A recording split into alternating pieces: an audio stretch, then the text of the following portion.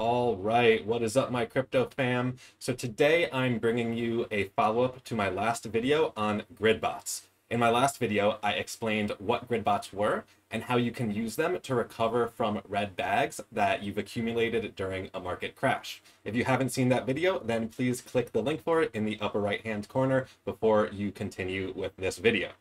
Today, I'm going to dig a little bit deeper into a couple of technical aspects of how grid bots work. The first is showing you how you can edit your grid bot lines and what effects that actually has on the grid and the bot itself. The second is a method that I use for calculating my grid bot profit, or at least calculating my current standpoint in my grid bot based recovery strategy. As always, this video is not financial advice. It is for educational purposes only, and you always need to do your own research before investing in the volatile crypto market. So let's get right into editing the Gridbot lines so you can see the changes that you can make and the effects that those changes have on the Gridbot lines themselves. So here I am looking at the previous uptrend on the Filecoin USD one hour chart. And we're currently looking at 3Commas AI strategy settings for this gridbot. I'm just going to switch over to the manual strategy settings so that we can actually edit it ourselves. For example purposes, I am just going to round out these numbers to 155 and 55. So here we have our grid. We need to, you know, edit it to make it a better fit. In the last video, I gave you the strategy and details for how you want to make the grid match up with the price action on the previous uptrend on the one hour chart for a coin. I'm not going to go over that in this video, so go back to that video if you need that info. Right now, I'm going to show you how the grid changes as you change the upper limit price, lower limit price, and grid quantity. Let's say I wanted to bring all of the lines of my grid up overall. I have two options. I can raise my upper limit and or raise my lower limit. Let's see what that looks like. I'm going to slowly increment this upper limit price upwards from 155 and let's see what happens to the grid lines. So 156, 157, 158, 159. As you may have seen, the lines were a little bit higher each time. Now I'm going to do the same for the lower limit price. So let's go to 56, 57, 58, 59, and well 59 so there you saw the lines also move up if you need to move your entire grid up you would move both the upper limit price and the lower limit price up if you want to keep your lower limit price the same and move all of the other lines up, you can simply raise your upper limit price. And now what happens if you want to lower the lines on the grid? Well, it is exactly the opposite. If you want to lower the lines but leave the bottom at the same place, you would simply just edit the upper limit lines or the upper limit price.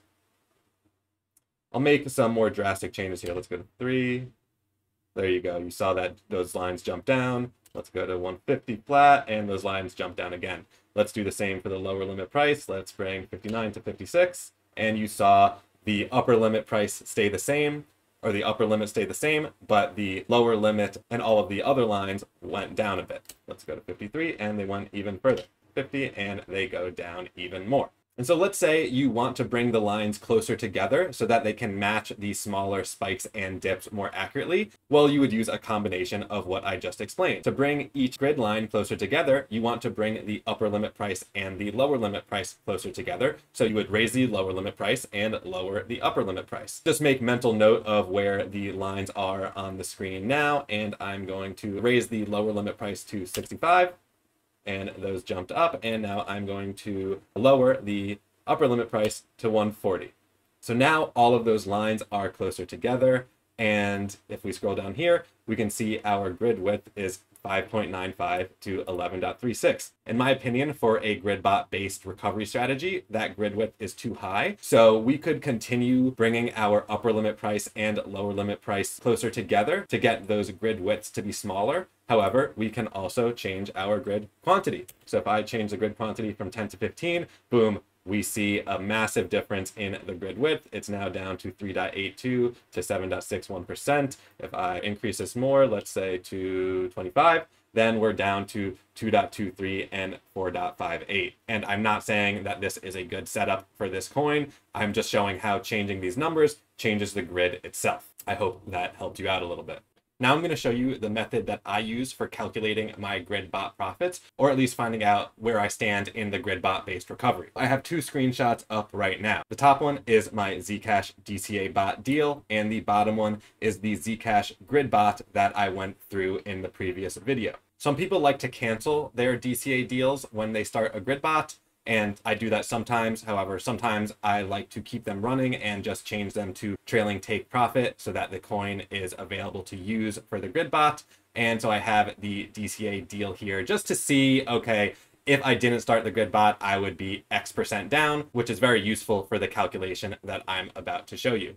We know based on this top screenshot that if I were to just close the DCA deal at market price right now, if I still had my 14.9916 Zcash, then I would be in a pretty huge loss of 44.81% or $1,763. Yes, this was a pretty big deal. And if we look at the GridBot screenshot, then we'll see that it's telling me I have $149 in profit. So how I like to calculate my current standpoint is I like to see what is the total value of the GridBot plus the profits that I have gained from it. In order to do that, it is very simple. I'll just pop open the spotlight here to do some calculations. So what we have to do is we have to add the value of the current amount of Zcash that I have plus the amount of USD that is locked into the GridBot in limit buy orders and add the profit that 3Commas has told me it has made to that. So let's go ahead and do that right now. I will take the 13.056 Zcash that is currently in the deal, and I will multiply that by the current price of Zcash, which we can see right there. So we'll do 13.056 times what it says in the GridBot, which is 144.85. And we'll put that in parentheses. To that, we will add the USD that is locked in the GridBot, which is 258. I will also add the profit from the GridBot, which is 149 and change. You don't really need to go into the decimals like I did there, but you know, why not? And from that, we get $2,299. And I'll just go ahead and open this in the calculator. So we have it right here for safekeeping. And now, how does that compare to if we never ran the GridBot? That's really what I like to find out. So that would be my initial investment minus my current losses. So for that, let's do 3,929.35 minus the 1,763.28 that I am currently down, and we get $2,166. So if I never ran the GridBot, the value of all of this would be $2,166, but I have been running the GridBot, and so the value is $2,299. To calculate the difference, we'll take $2,299 and I will subtract the 2166 that we calculated from the grid, from the DCA bot, excuse me, and that gives us a difference of $133. So through running this grid bot, I have recovered $133 of the $1,700 that I am down in this deal right now. So in my opinion, this is really quite great. Not that much time has passed and I've recovered $133 of my red bag, and as more time passes, I will recover more of it. I will track the Zcash USD pair and make sure that I am editing the grid bot when necessary to maximize those profits.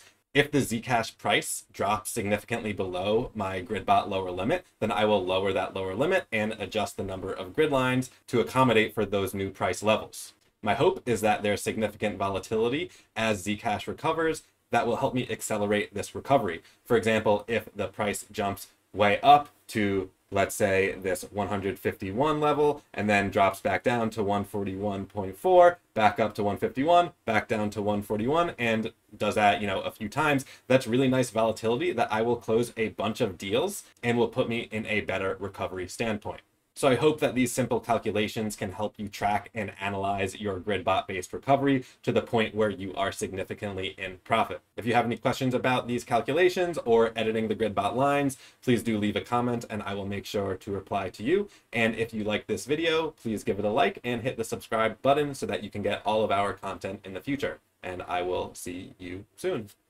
Peace.